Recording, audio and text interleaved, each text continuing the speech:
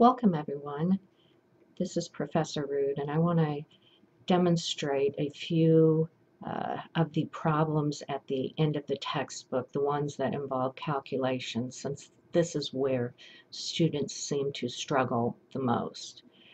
These questions are located at the end of chapter 1 and we're going to start with the conversion of a centimeter into a meter. So I have written down here one centimeter and we want to know how many meters.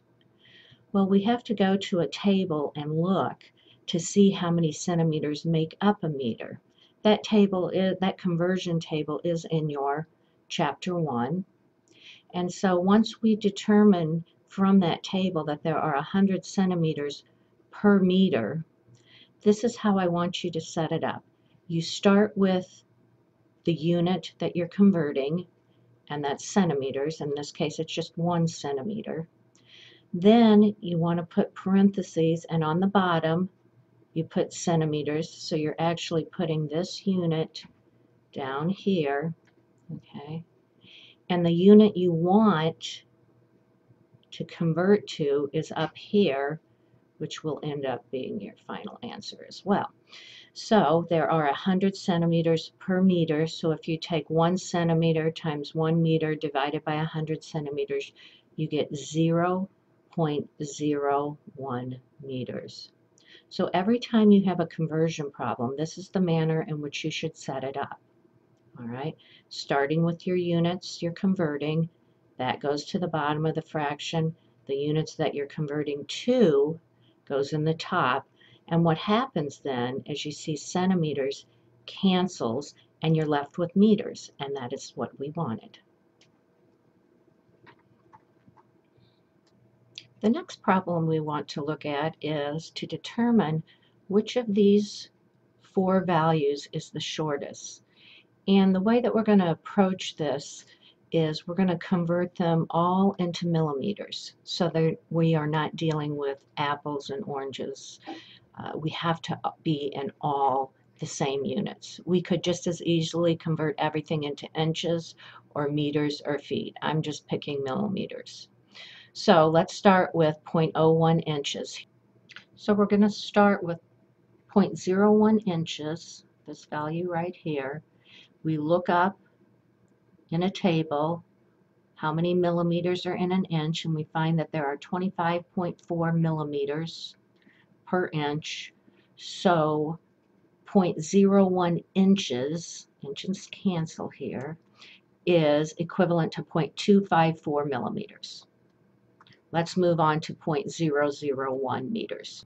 For C, 0.001 meters, we need to look up and see how many millimeters, that didn't come out very well, um, there are in a meter. And that would be 1,000 meters I'm sorry, 1,000 millimeters per one meter. You can see that your meters will cancel out at this point, and so 0.001 meters is equivalent to one millimeter. Let's do our final example here, 0.001 feet that we're going to convert into millimeters. So here we go. We look up in the table and find that there are 304.8 millimeters in one foot. And so when we do the math, we see feet cancels here, and we're left with 0.3048 millimeters.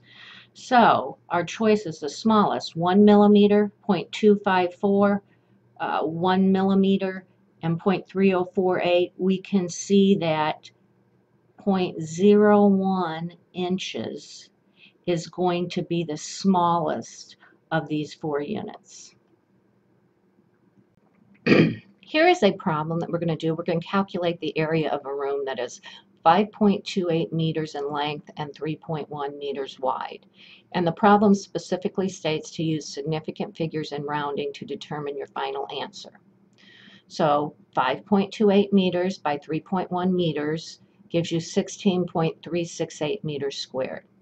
Now we have to determine how many significant figures our final answer will have. If we look at 5.28, there are three significant figures in that number. and 3.1 has two significant figures.